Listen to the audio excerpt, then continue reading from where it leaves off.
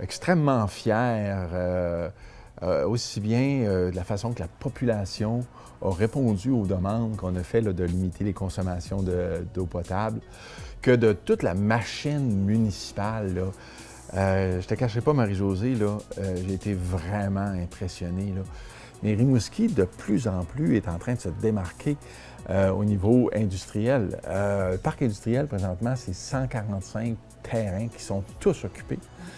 Euh, on est en train de faire des travaux qui vont nous permettre d'avoir 28 euh, terrains additionnels en 2018, euh, une trentaine de terrains de plus en 2019. Est-ce que nous, à la ville de Rimouski, on va permettre ou non la consommation du cannabis, par exemple, dans les espaces publics, les parcs publics? Il y a beaucoup de réflexions à faire ça. Ça va être quoi l'impact sur les services de police? Euh, est-ce que ça va augmenter la charge de travail? Ça va être quoi les impacts sur euh, les dangers pour la population associés à la conduite euh, sous l'influence du cannabis? Il y a énormément de questions pour lesquelles on n'a pas de réponse encore.